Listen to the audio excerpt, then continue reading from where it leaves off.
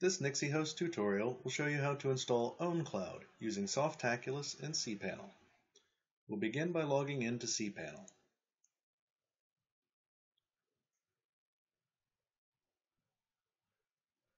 Scroll down to the Software section and select Softaculous Apps Installer.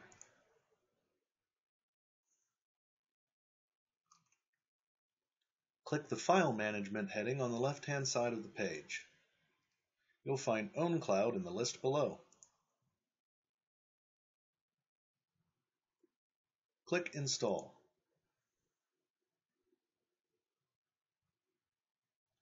If you have an SSL certificate, you can change the protocol to HTTPS.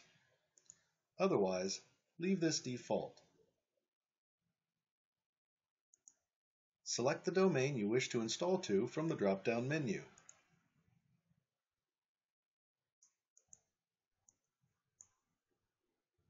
If there is a specific directory you wish to install OwnCloud to, enter it here.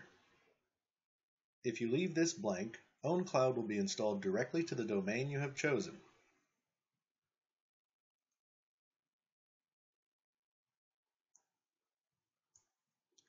Enter an administrative username and password.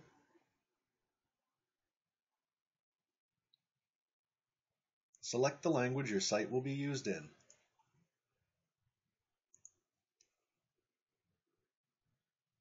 It's always a good idea to set up a cron job to back up your website. You can do this under the Advanced Options category. When you're finished with configuration, click Install. OwnCloud will now be installed to your website.